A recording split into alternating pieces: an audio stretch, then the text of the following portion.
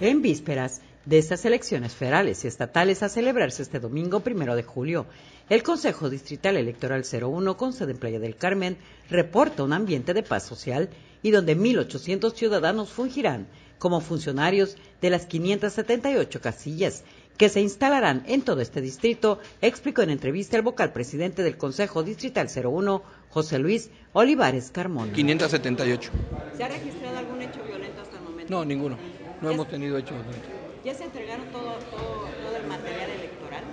En eso estamos todavía. Tenemos el día de hoy y los, los pocos que queden por causas propias de los ciudadanos que van a recibir el paquete por sus horarios y que los pueden recibir ya sea jueves o viernes, ahí los estaremos entregando, pero son los mínimos. Oiga, este, ¿cuántos este, eh, observadores electorales van a participar ahora? Tenemos alrededor de 150 más o menos registrados, observadores electorales y ya aprobados por el Consejo. ¿Pero son individuales o son algunos? Hay algunos que son individuales, hay algunos que vinieron por organizaciones civiles. Eh, eh, hay de varios, pues.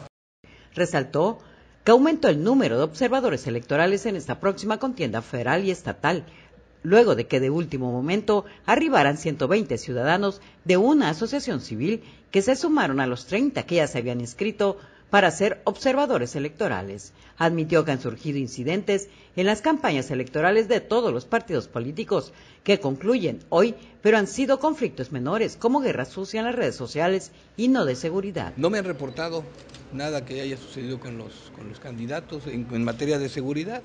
Eh, sí han denunciado alguna guerra sucia, alguna este, propaganda no, no, no correcta según ellos y el caso del oficial electoral es la que ha actuado en consecuencia, levantando las actas correspondientes y este, resolviendo lo que tenga que resolver. ¿Cuántas actas han levantado?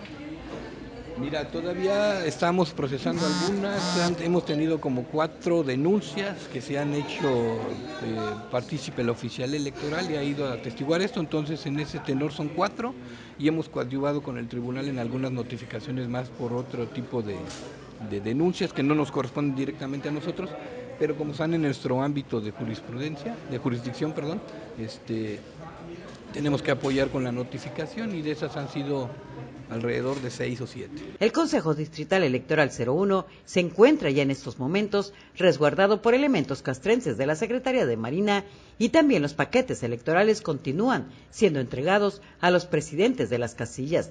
Repitió que las casillas electorales serán abiertas este primero de julio a partir de las 8 de la mañana y cuando ya hayan recontado las boletas e instalado las urnas.